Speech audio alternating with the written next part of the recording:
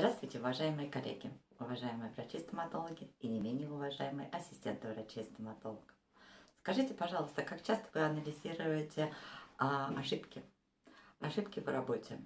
Как часто вы обсуждаете ассистент с доктором а, проведенный лечебный процесс? А, и обсуждаете ли вообще? Я предлагаю вам пройти обучение на нашем вебинаре двухчасовом на котором мы с вами разберем первое – это цели максимального участия ассистента в работе врача-стоматолога. Вся работа ассистента делится на 13 аспектов. Ну, можно поделить так всю работу ассистента. И мы разберем с вами ошибки в каждом из аспектов.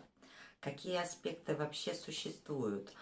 Это Подготовка к лечению. Мы научимся с вами правильно подготовиться к лечению пациента.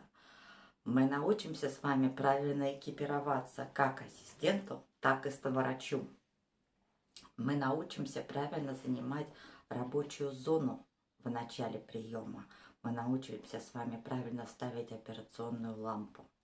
Также мы разберем такие аспекты, зачем ассистент должен следить.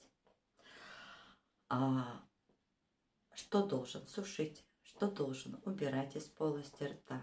Мы с вами поговорим, что может делать ассистент в полости рта. И еще один из самых важных моментов – это работа с инструментами. Мы с вами разберем ошибки, которые совершают ассистенты при подаче инструментов. И также разберем технику подачи инструментов.